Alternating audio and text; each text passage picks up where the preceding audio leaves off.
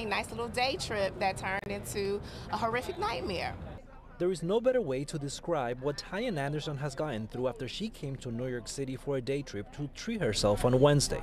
Just to get my hair done, I got a massage and everything. She was supposed to go back to Chicago on the same day, but because of bad weather, her flight was canceled. The earliest they could rebook me was today. And I get here this morning and all flights were at a halt. She's frustrated, just like thousands of people across her region and around the world who have been dealing with flight delays and cancellations. The reason? The largest IT outage in U.S. history, obstructing Microsoft's 365 apps and Azure service. We identified this very quickly and remediated the issue. George Kurtz, CEO of CrowdStrike, the company responsible for the global computer outage, explaining it was caused by a defect in an update to one of their security systems. And now we are uh, working with each and every customer to make sure that we can bring them back online.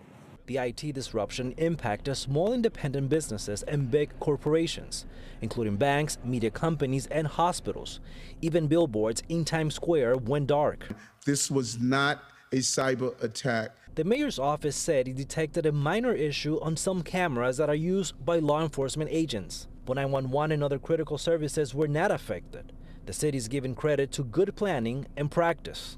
Our most critical services, 911 related, 311 related, we isolate and keep it in a separate environment, and we control what updates get pushed into that segment of the environment. For Tyann Anderson, one thing she cannot control is making it back home to Chicago tonight.